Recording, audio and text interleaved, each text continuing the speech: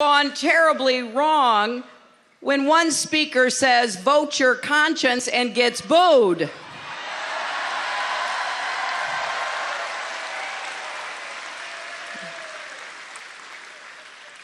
I mean, I never thought I would say these words, but Ted Cruz was right.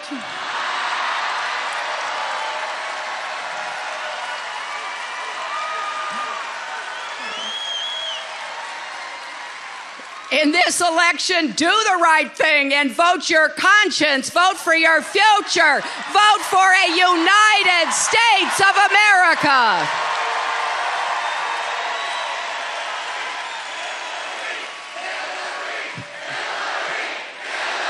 Now,